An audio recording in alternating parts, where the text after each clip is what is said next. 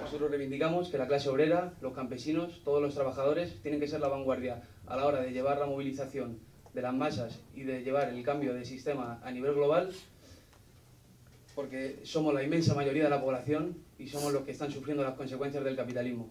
Por ello lo reivindicamos así y por eso eh, eh, sabemos y creemos firmemente en que la única manera de, llegar a nuestro absoluto bienestar es acabar con, este modelo de, de, producción, con este sistema en general, tanto económico como político como social.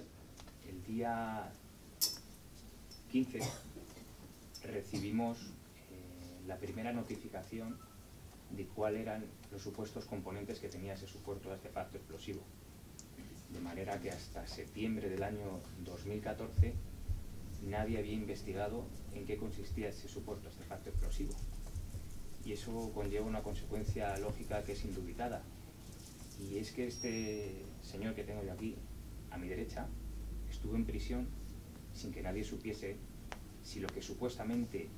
Imaginemos que, eh, aunque hemos negado la mayor, imaginemos que estamos de acuerdo con su señoría y efectivamente a este señor le encontraron una bolsa.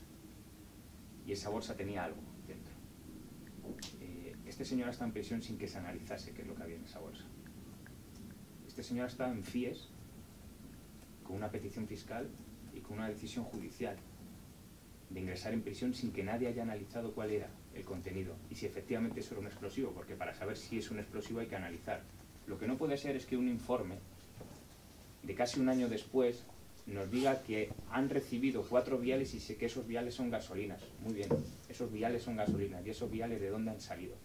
¿Por qué tengo que creerme yo que esos viales son de las botellas? Si yo no sé dónde están las botellas, si no sé quién es la persona que ha manipulado esas botellas para rellenar esos viales, si ustedes no han analizado las botellas, ustedes han analizado cuatro viales, así de pequeñitos, en los que el contenido es gasolina, y ustedes no me dicen quién es la persona que ha rellenado esos botecitos, quién es la persona que se los ha enviado a ustedes.